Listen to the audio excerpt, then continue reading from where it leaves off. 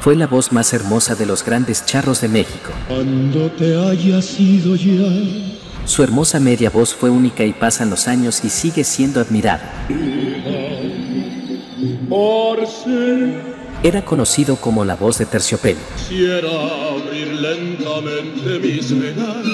Fue una de las voces más hermosas entre los grandes charros de México, siendo reconocido como la voz de terciopelo.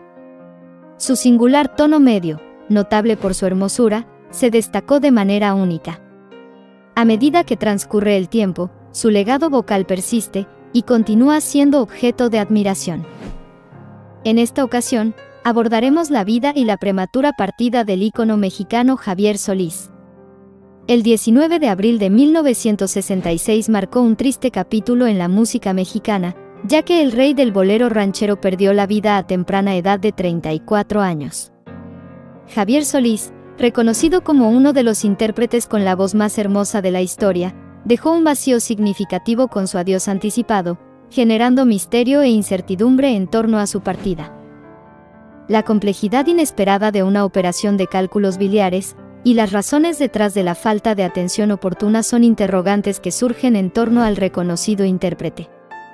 Durante al menos un par de años, el famoso cantante experimentó intensas molestias estomacales. Sin embargo, debido a su agenda abrumadora, que abarcaba no solo conciertos y grabaciones de discos, sino también participación en películas, no recibió la atención médica adecuada. Se limitó a recurrir a algunos remedios naturales y a consumir ensaladas con la esperanza de aliviar el malestar, lo que, lamentablemente, no bastó para abordar la situación de manera eficaz.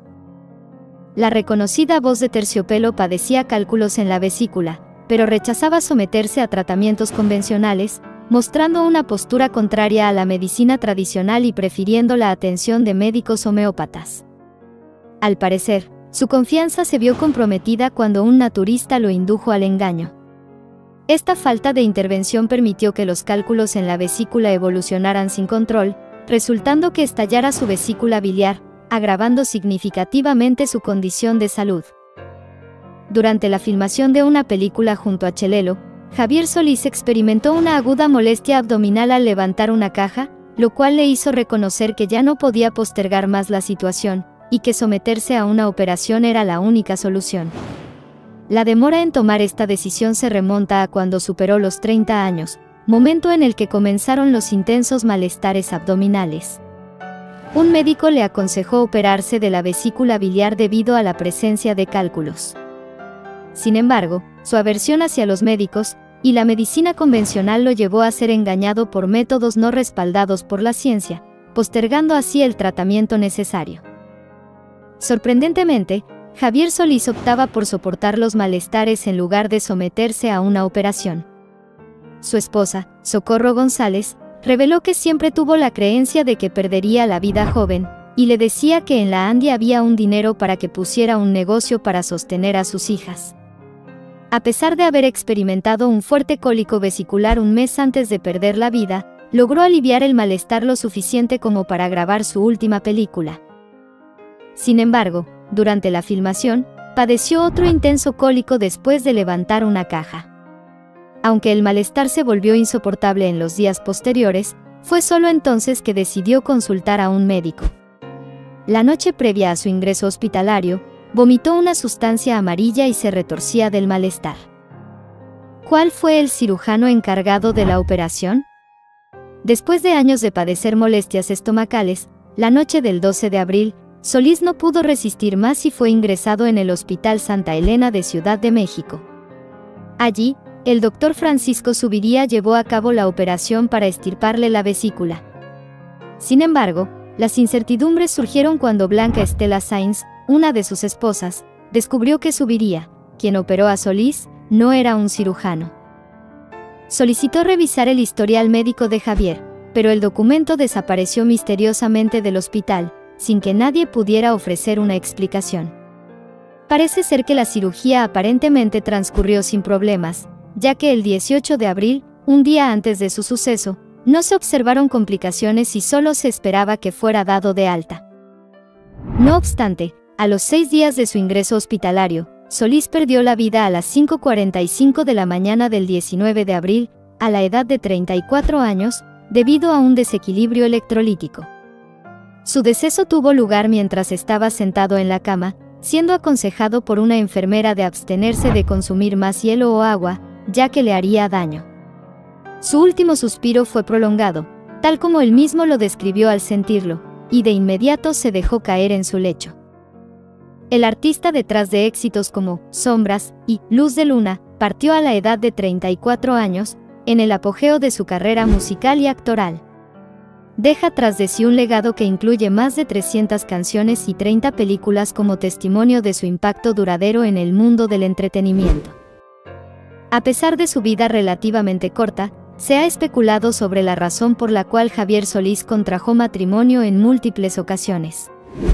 Los rumores indican que no solo tuvo una esposa, Blanca Estela Sainz, ni dos, sino cuatro parejas que supuestamente tenían un estatus matrimonial formal. Estas uniones llevaron a complicaciones al momento de la repartición de la herencia, ya que dos de ellas se conocieron en uno de los momentos más difíciles de su vida. Tras su partida, cuatro mujeres, identificadas como Socorro González, Blanca Estela Sainz, Enriqueta Valdés y Yolanda Mollinedo, se presentaron reclamando la potestad sobre sus bienes. Todas ellas respaldaron sus afirmaciones con actas de matrimonio, evidenciando que el artista contraía matrimonio repetidamente sin llevar a cabo divorcios. Socorro González fue la primera esposa del reconocido rey del bolero ranchero, con quien tuvo dos hijas. Posteriormente, el cantante se enamoró de Blanca Estela Sainz, con quien también tuvo una hija y un hijo. Sin embargo, nunca se formalizó un proceso de divorcio entre una esposa y otra. ¿Cuál fue el político que supuestamente ordenó quitarle la vida a Solís? Se rumorea que un político, Gustavo Díaz Ordaz, habría instigado la trama para quitarle la vida a Javier Solís. Se dice que, durante ese tiempo, Javier comenzó una relación con Irma Serrano, conocida como la Tigresa, quien también era cortejada por el mencionado político.